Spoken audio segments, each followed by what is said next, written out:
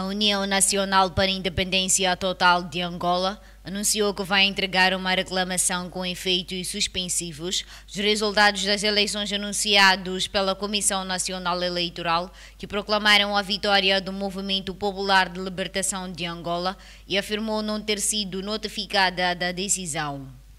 Num comunicado do Secretariado Executivo do Comitê Permanente da Comissão Política, a União Nacional para a Independência Total de Angola refere ter tomado conhecimento dos resultados anunciados na segunda-feira pelo presidente da CNE, Manuel Pereira da Silva, por intermédio dos órgãos de comunicação social públicos repisando que não reconhece os resultados da CNE enquanto não forem decididas as reclamações já na sua posse.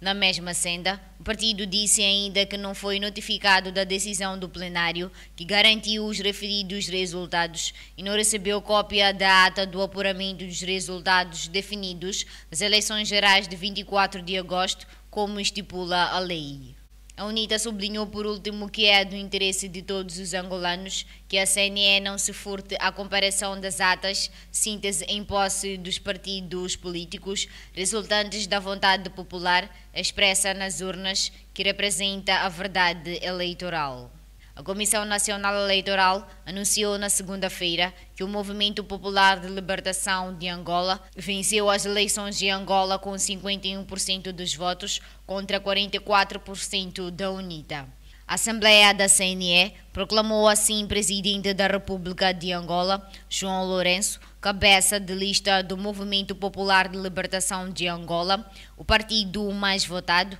e vice-presidente Esperança da Costa, segundo da lista do Movimento Popular de Libertação de Angola.